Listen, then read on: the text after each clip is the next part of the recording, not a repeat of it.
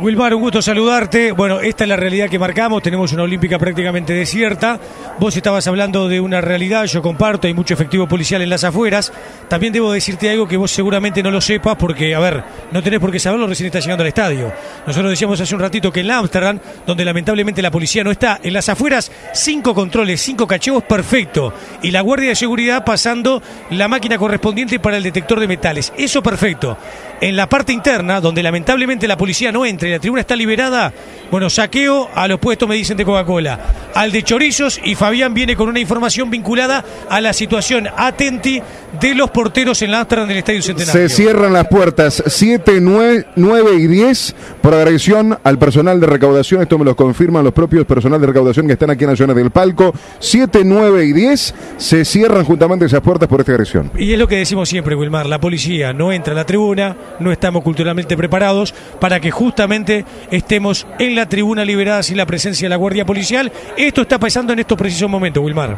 Bueno, vamos a ver, eh, vamos a averiguar. La verdad que sinceramente estábamos recién llegando y además estábamos con otras notas, no, no estamos enterados de, de ese tema. Pero bueno, creo que es lamentable y creo que está en definitiva relacionado con lo que tenemos. O sea que eh, si bien hoy hay un, hay un operativo policial este muy, muy estricto en las afueras y en diferentes puntos de la ciudad, eso es una buena señal, pero habrá que seguir trabajando también para tomar otras medidas. La agresión hoy a la mañana a un árbitro de fútbol.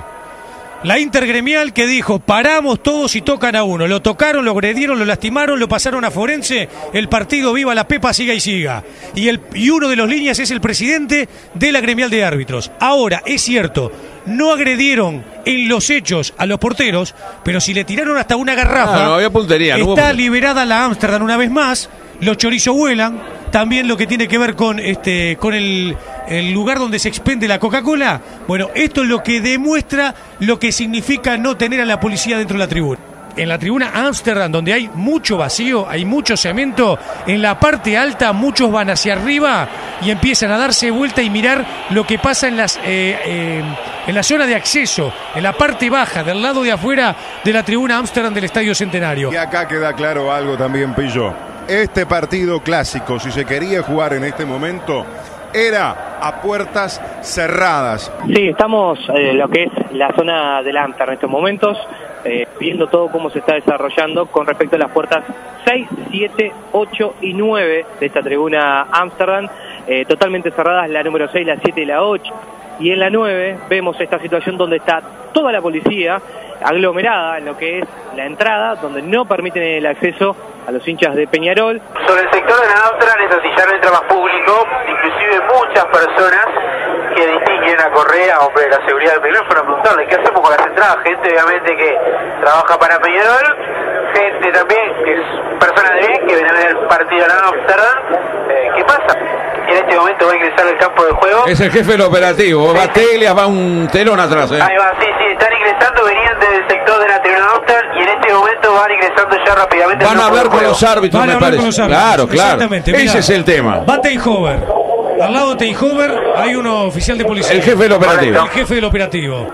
Estamos acá abajo en el palco y en este momento están reunidos el presidente de Nacional, el de Peñarol, Jorge Barrera, Wilson Miravalle, están todos hablando justamente de este caso que está pasando en la tribuna Ámsterdam, se están todos poniendo en conocimiento porque por ejemplo Jorge Barrera se acaba de enterar, se acaba de poner al tanto de lo que está ocurriendo. Si un tipo no tiene ningún problema en tirarte una garrafa de 13 kilos arriba que te puede matar, ¿de qué vamos a Eso, es lo mínimo. Ahí Y está. lo que decimos siempre, por falta de puntería.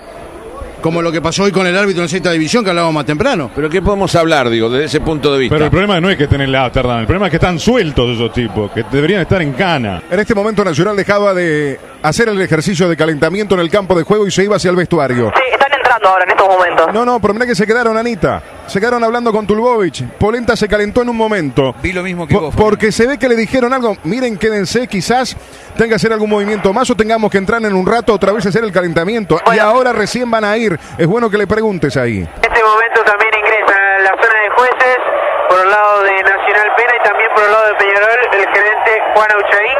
Lo que me comentaba Auchaín es que obviamente la postura de Peñarol fue clara y hasta en un momento lo manejó. Esto se debió jugar a puertas cerradas y que ahora hay molestia porque no hay respaldo de la seguridad como se debe. Por ahí alguien me dijo, ojo que capaz desalojan la Amsterdam. El tema es, desalojan la Amsterdam, ¿qué va a pasar en las afueras. A mí me dijo hace ya un buen tiempo, y yo se lo dije a Furiati en la radio, una persona que conoce muy bien la interna de Peñarol y temas de seguridad, me dijo hace un tiempo, que no lleguen al clásico con Nacional arriba con posibilidad de ser campeón, porque puede pasar cualquier cosa. ¿eh? Y el que me lo dijo debe ser el hombre que más sabe de seguridad de todo Peñarol. En estos momentos por la puerta número 9 a la tribuna Amsterdam. Obviamente que la imagen y la situación que se da en el intento de ingreso por parte de la policía, desde arriba llueve absolutamente de todo. Hasta una segunda garrafa podríamos decir que ya voló desde arriba del estadio de la tribuna Amsterdam hacia abajo, le está con todo a la policía que está intentando en estos momentos ingresar a la tribuna Amsterdam por la puerta número 9. que está la Amsterdam, no están dadas las garantías, no podemos dar nosotros garantías. ¿Qué nos queda? Es por desalojarla. Y ahí se está, en ese tema, y cada vez estamos más cerca de la suspensión del partido. Extraoficialmente, la versión que acaba de emitir la policía es de que el partido no se va a jugar.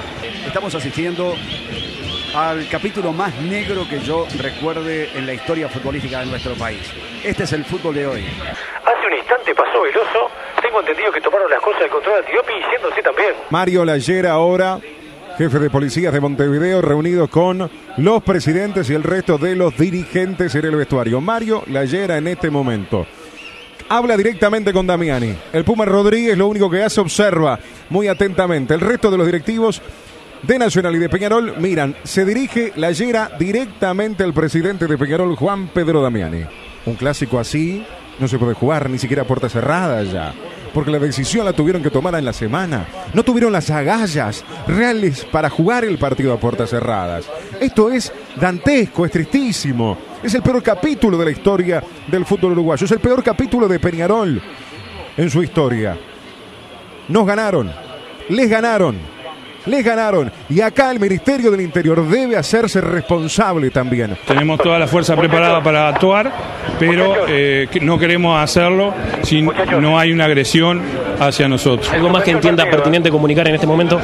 Que, bueno, que hay que continuar evaluando esta situación. Hay otros elementos que están jugando, que hay información que nosotros tenemos que, eh, que es reservada y que va a ser puesta en conocimiento de la justicia competente para que resuelva. ¿Había armas en Amsterdam? No tenemos confirmado ese, aspecto. Hay información, pero no tenemos confirmado. Muy amable, la Yera. Bueno, vamos, vamos. se suspendió el partido, muchachos. Se suspendió eh, y una serie de cosas para decir justamente con nuestro compañero Nicolás Pirri. Eh, salía uno de gente de Peñarol y nos acaba de decir el partido se ha suspendido y una serie de circunstancias eh, que tienen que ver obviamente con las consecuencias de esta situación que se acaba de establecer. Formalmente el partido ha quedado suspendido. Y si hablamos en caliente, la verdad es que estamos, estamos muy mal. Yo creo que acá lo que es claro es que están pasando cosas que no pueden pasar ya desde hace mucho tiempo y que estamos llegando a un límite. Este, veremos realmente cómo, cómo se logra solucionar este tema de acá para terminar el campeonato.